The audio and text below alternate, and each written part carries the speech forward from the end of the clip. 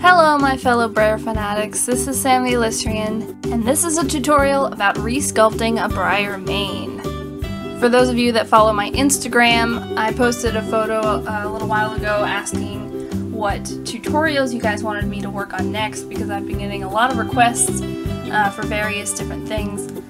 But between college and every other thing happening in my life, I simply have not had time to, let alone post pictures of Breyers on Instagram. Um, but I had a few hours today, so I will do this tutorial. What we are doing today is removing the mane of this model and adding a new one. As you can see, this model has a fairly short mane, um, and it's pretty close. It's not very thick, so it's pretty close to the uh, interior of the model. So before we start, let's go over the things you will need. First thing you are going to need is Apoxie Sculpt. Apoxie Sculpt comes in two parts, A and B, as you can see here. And um, I got mine online through Amazon, I believe. And about this much Apoxie sculpt in a container was about $20, I think, for both of these. Um, so it's not too, too expensive, and it lasts a really long time if you use it sparingly. The next thing you are going to need is some kind of saw or sander to sand off the original uh, mane of your model. I use a Dremel tool, um, which is really handy because it's very small and you don't have to go outside to use it like a big saw, and it's much more um, reasonable than going out and hacking off pieces of your Breyer, which can make big mistakes in the clay. Um, and it's much faster and less messy. Or you can use the old-fashioned version, which is sandpaper. Um, sandpaper is just as good as a Dremel tool, only it takes much longer, and you're basically doing everything by hand, where the Dremel tool will do it in like 30 seconds. You're also going to need a various selection of sculpting tools. Um, these will be for when you are actually resculpting the mane after you apply the clay. And um, you don't have to specifically buy these tools. I used to just use a paintbrush when I didn't have which works just as well. Um, but once you use it, you can't use it to paint with again, so pick an old one or, a, or one that you don't use very often. And about this size. See how these are all, they all harden after you use them with the clay, so that's why you can't paint with them again. But they're great for sculpting. And the last and probably the most important thing to use is water, good old-fashioned water. Because when you're using the clay, um, if you don't have water and add water regularly, uh, the clay will dry out and get all grummy and stuff. And when you try to carve into it, it will curl and roll off and it's not a pretty picture. So water is very important. It does not work without water. Now if you're using sandpaper to sand off your mane, that's totally fine. Um, probably cover your floor with a towel or something because it will probably get all over your floor. Um, and it will take a while, so put on a movie or something while you're sanding. Um, if not, if you're using the Dremel tool, please make sure to wear some kind of eye goggles or protective things over your face um, because the Dremel tool moves very fast and it heats up the plastic because it's moving so fast. So the plastic can be hot and it will shoot out sometimes. So please wear something protective over your face and your eyes. The Dremel tool has to be on a low setting. It does not have to be, you know, the fastest setting there is. Um, it doesn't take much to take off this clay or plastic, whatever you want to call it. So I'm going to set mine on 1 and I'll show you how well it works.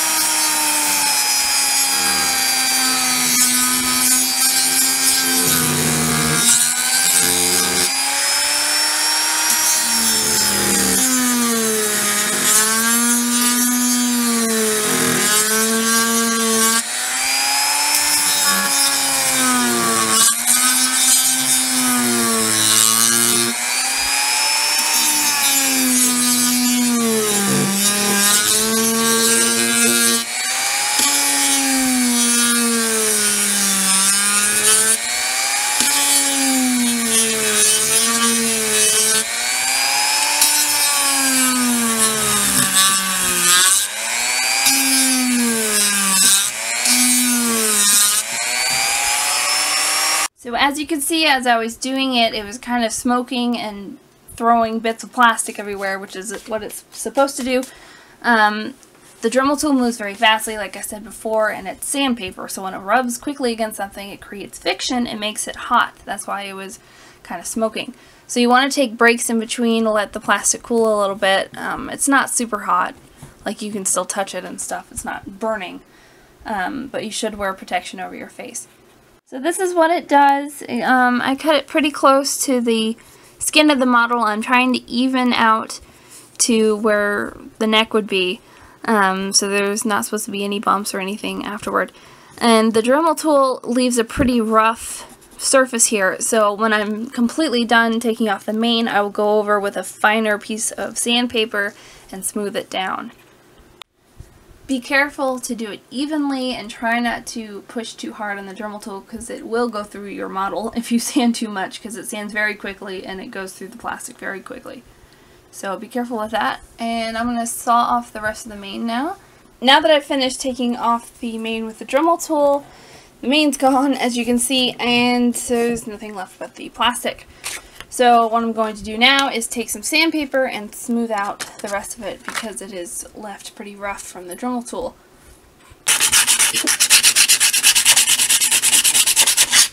So now I've sanded it down and it is just about as smooth as the actual model surface. So now I can start reapplying the new mane. So when you work with epoxy clay, it's not the cheapest stuff on the earth. So you're going to use it sparingly and you can always add more later if you want more. Um, but once you mix the two together, you cannot unmix them and basically it'll harden and you've wasted a bunch of epoxy clay. So start off with small bits, and I have about the same amount of each of part A and B, um, and I'm going to mix them together, and uh, you just roll them together until they're one color. And the part B is the hardener, and part A is the actual clay. So once you mix it together, you have to use it, um, or else it's going to harden and you won't be able to use it anymore. So now I have my epoxy all nice and blended and it's one color and now it's ready to apply to your model. Next thing you're going to do is you're going to set some water aside so it's ready for when you start using the clay um, because the water really helps shape the clay and uh, keep it at bay because it can curl and get everywhere if you don't use water. So when applying the mane, you're going to work from the uh, very beginning of the mane and work your way down meaning you're going to start with the clay at the base of the hairs up here and then bring it down and then eventually sculpt out the lines of the hair. So before I add it, I'm going to find the center of the horse's neck and take little bits at a time and start applying it. I'm going to take about half of this and squeeze it out a bit so I stretch it. And that will be my base of the mane. Okay, so I'm just to apply it up here and it's to look really crappy at first. like, yeah, that's the mane, isn't it beautiful? So you're just to press it down in there. Okay. And then you're going to push it down a little bit. And then I'm going to add the rest of it here, about half of the rest of it, because I need to save some for the forelock. I'm going to squeeze it out and apply some more here. Alright, so that is the beginning of the mane. Now this is where the water comes in and this is why it is very important. See how crappy it looks? And not smoothed out? Well, that's where the water comes in. So I just dip my finger in a little bit of water and start smoothing it out. Mm -hmm. And all the cracks will start rubbing together. So you're just going to do this, and right now you're just getting the basic shape of the mane, so uh, whatever position it's in, you're just shaping that for the moment, and then you'll do the detailing later. I'm bringing this part out a little bit so the forelock comes out, and I'm going to add more later for the forelock there. Okay. So this is getting nice and flattened, so it looks like it runs into the model. Keep wetting your finger and reapplying the water. You can also use a, um, a paintbrush or another sculpting tool, but I find my finger is just easier and faster. Um, I'm just getting the basic shape, and also you can start pushing it down to get a little more going there. Okay, see how it just pushes it down way out in there.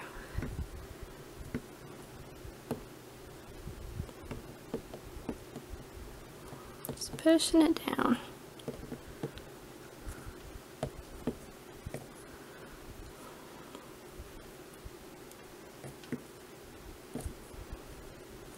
Pushing it down.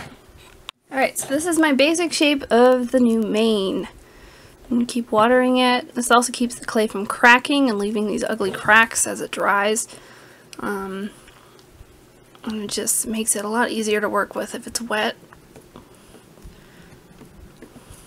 Okay, so I'm going to make sure it's kind of flat here, and not too flat because I still need to carve the, um, the ripples and the waves of the hair into it. But just enough so it's not like an afro unless you want an afro. That's my 70s horse. Let's see how this has come up a little bit. This needs to be a little flatter against the neck because as the hairs thin out, they're not that thick against the neck. They're only that thick at the base. So you're just going to pull it down. Pull it down. Or push it.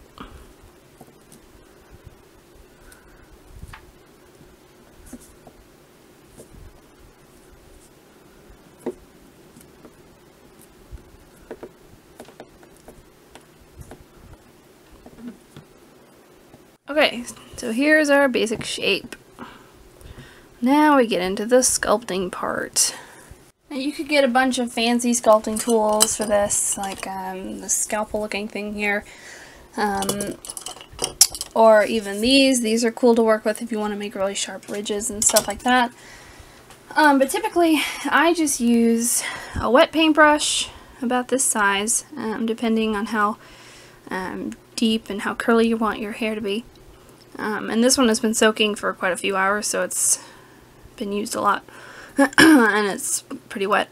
Um, and this little tool here, I don't know what it's called, but it came with my sculpting kit. and um, it's really the only one I use out of like 10 different sculpting tools I got. But this is really cool because it makes like these little tiny hair indents. So I'm going to use this first to make the um, to make the uh, curls. I'm going to dip it in some water and just start at the top and just kind of start waving it down.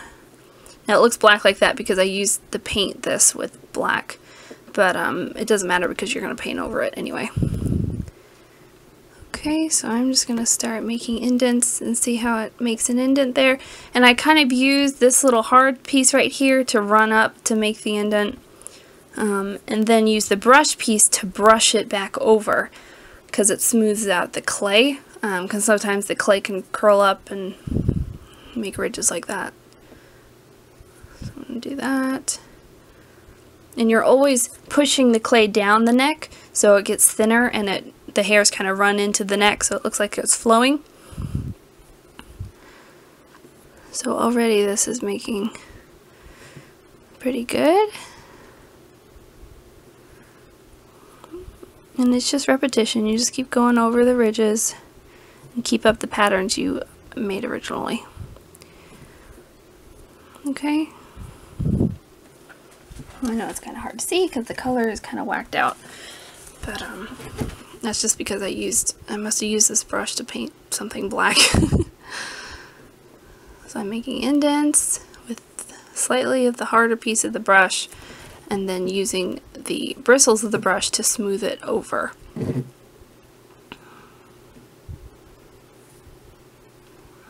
And as I'm doing this, it's pushing it down and making it part of the neck.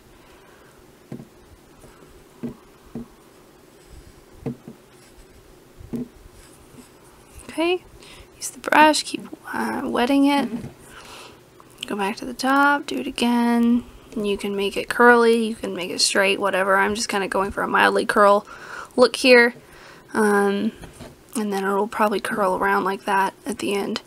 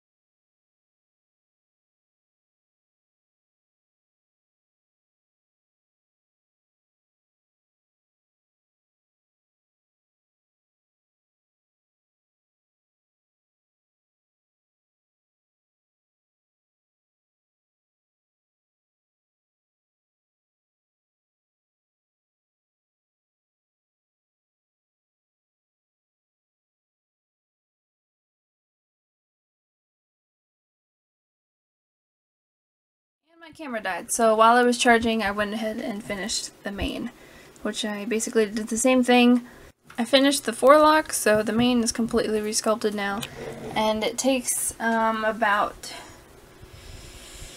10 hours to dry, and I usually just let it sit overnight, um, so about 24 hours, so I'll, I will prime it and color it tomorrow. So yeah, that's how you do a mane or tail, more specifically a mane. If you found this video helpful or you liked it in any way, please hit the like button and subscribe below for more content. I hope you have a fantastical day, and I will see you all later, you Elisrians. Bye!